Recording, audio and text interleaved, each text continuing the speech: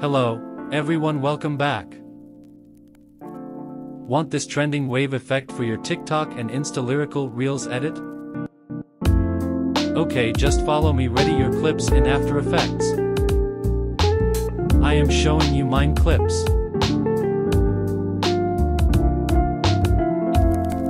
Okay then go to Effects panel and search Wave Warp.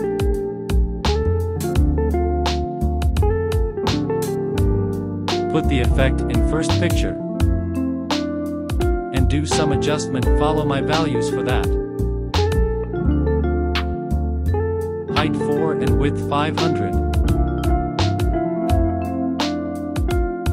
And first picture is ready with effect, now just copy the effect and paste it in others picture layers. So it is very fast and easy effect. You can add this on your lyrical videos edit.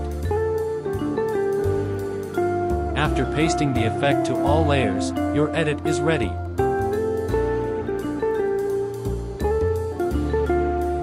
Just render it and upload it on social media. Hope this video is helpful for you and you learn the wave warp effect. Don't forget to like share subscribe.